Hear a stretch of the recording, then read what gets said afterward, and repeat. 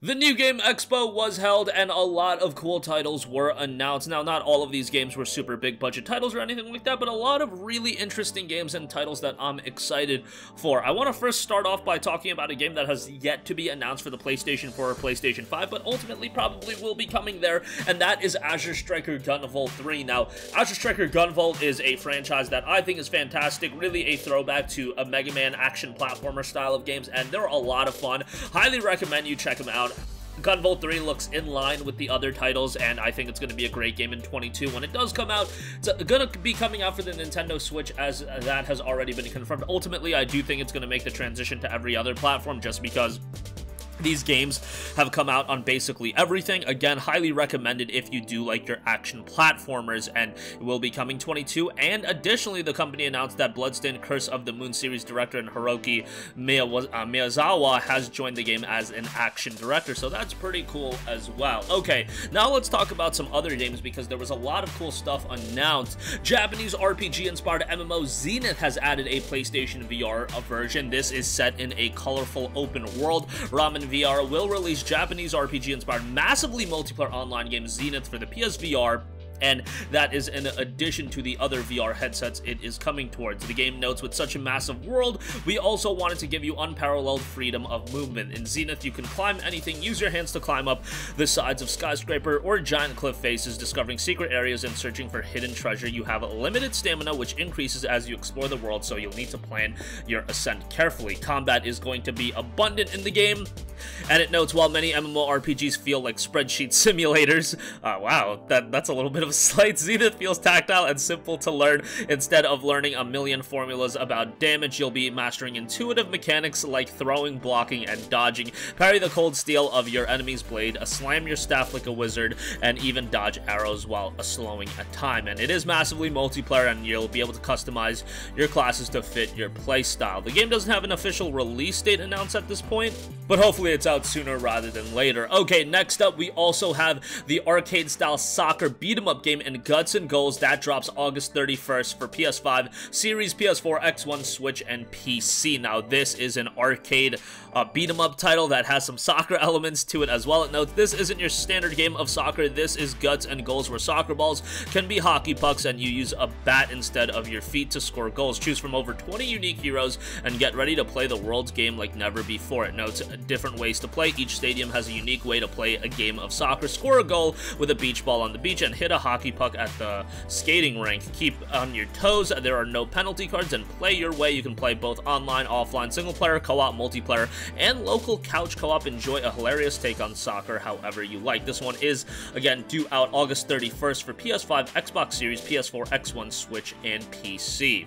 Next up, we have a dungeon RPG in Undernauts Labyrinth of Yomi that is coming west for PS4, X1, Switch, and PC sometime this fall. The game is set in Tokyo, 1979, when a massive mysterious structure suddenly rises from the ground. The government sends a team to investigate. You have been selected to join an elite group of underground ex explorers employed by Cassandra Company. Unfortunately, you are not the only one searching these caverns. Terrifying monsters lurk in the shadows. Dangerous criminals hunt for resources. Large numbers of people are missing. The test of your your survival skills begin now. Like the look of the game, definitely an art style that I can get into. I don't know if it's going to be everyone's cup of tea, but I like it.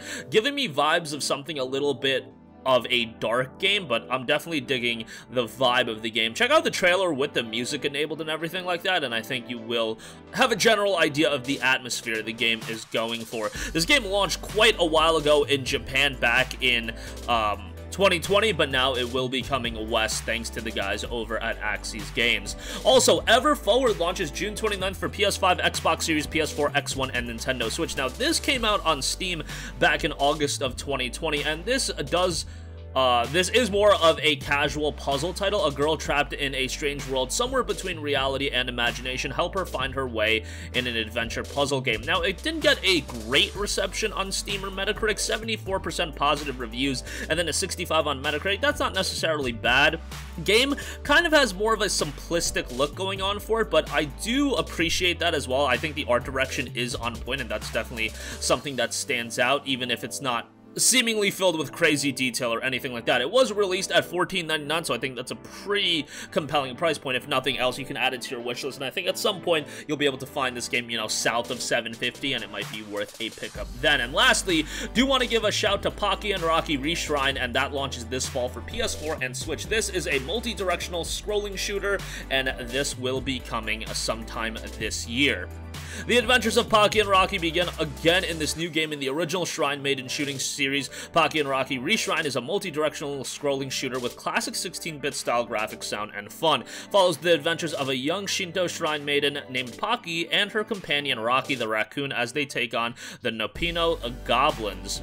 Looks to be a quirky little shoot 'em up title, so we'll see how this one turns out when it does drop on the PlayStation 4 and Nintendo Switch later this fall. However, what has been announced for PlayStation, Exophobia will be dropping in 2021, a very, very old school cool presentation FPS. Now, this is something that's a throwback to games like you know, Doom and old, old first-person shooters. Like, if you're into the old Wolfensteins and things like that, this is probably going to be right up your alley. It does note explore an abandoned human spaceship that crashed in an unknown planet as you fight unforgiving hordes of aliens in a retro-inspired fast-paced shooter. Exciting weapon upgrades allow you to uncover new areas and mix up your combat style. So got a little bit of a Metroidvania vibe going on for it as well. And then Blaster Master Zero Three, the cap off to Blaster Master Zero. So this is noted to be the final in the Blaster Master Zero trilogy will be dropping July 29th. Another throwback game, and a Blaster Master was huge back in the day from what I heard, but a little bit before my time. Blaster Master Zero One was fantastic. I played that on PC. Didn't play the sequel, but yeah, now we got Blaster Master Zero Three coming to the PlayStation 4, Switch, and PC on July 29th, so right around the corner. Gotta check out the second game before this one drops. So that's gonna wrap up this one. Definitely excited for a lot of the games. Uh, specifically, Zenith definitely got my attention as a PlayStation PlayStation VR title. Gunvolt 3, while that's not confirmed PS4, PS5, when it does come out on the Switch, I'll definitely be playing it there, and then ultimately if they deliver another quality title, I'll probably check it out on other platforms as well.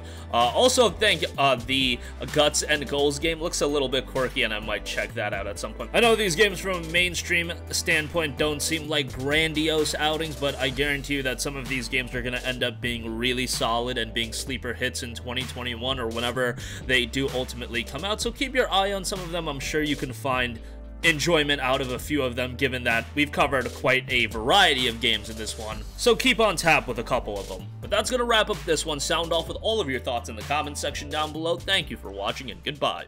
Hey guys, we hope you enjoyed the video, and if you did, make sure to hit the subscribe button, and if you're already subscribed, do us a favor and hit the bell icon. This way you'll be notified whenever we post a new video. That's the best way to keep up with all of our uploads, and we usually try to upload two videos a day. And with the bell icon hit, you'll be notified whenever we do upload a video. As always, thanks for watching.